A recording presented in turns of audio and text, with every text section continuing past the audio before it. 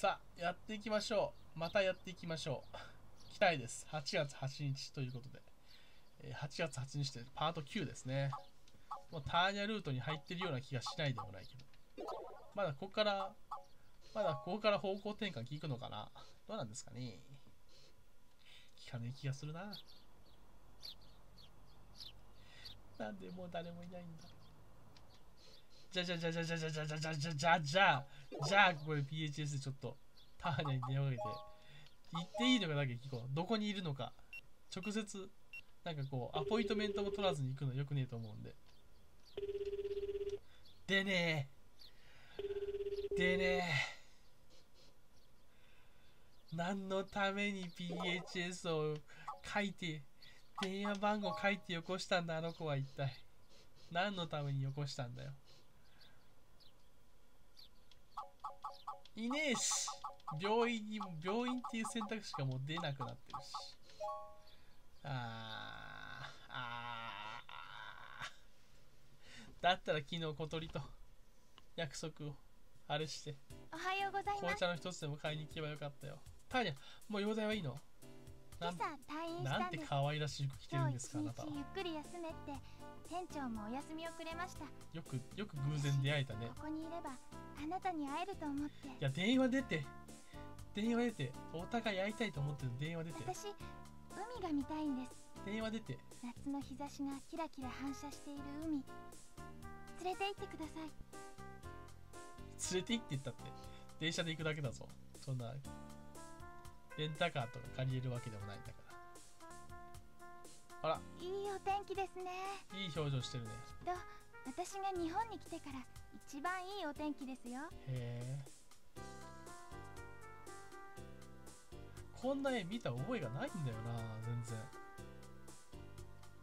赤いスズランの商品化が銭立てに来たんだって聞いた時私泣きそうになってしまって。でももう泣かないってあなたと約束したから。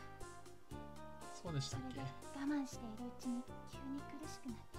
あ涙は我慢しない方がいいのかもしれませんあね。そうだね。涙を流しても決して諦めないで夢を持ち続けてればいいんですよね。なんかガッシュのイメージだな。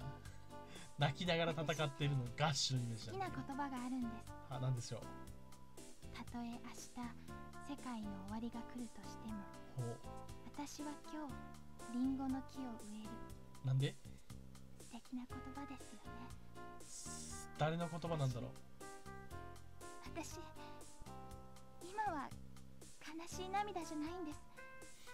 私嬉しくて自分たちの作ったものがみんなの間に広がって自分たちの夢をみんなにてあげられるなんて。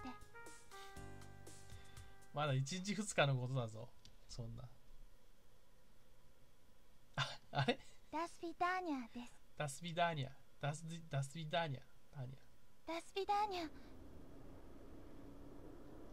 ダスビダーニャ。銭箱だって。ダスビダーニ銭箱すげえ名前だな。スビダーニャルビーム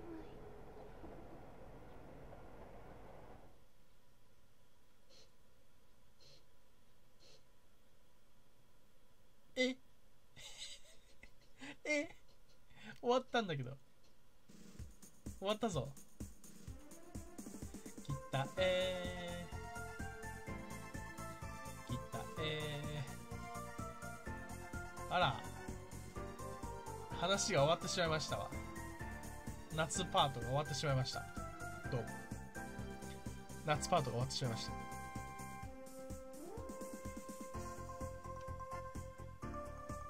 僕には大好きな女の子がいる。向こうが。僕のことをどう思ってるのかなんてまだはっきりわからないけど。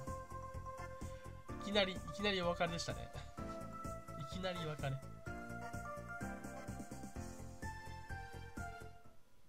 はあ。じゃあとりあえずここまでにしますか。ちょっとインターバル置きます。8月31日だったんで。次のパートはね冬なんですよ。12月末にまたやります。今年のね。やります。とりあえずここで一旦寝かせますね。寝かせます。寝かせて、えー次の8月12月の終わり頃にもう一回続きを続きをやっていこうと思います。ターニャ編ということでやっていこうと思います。それじゃあしばらくお別れということですね。ほなまた。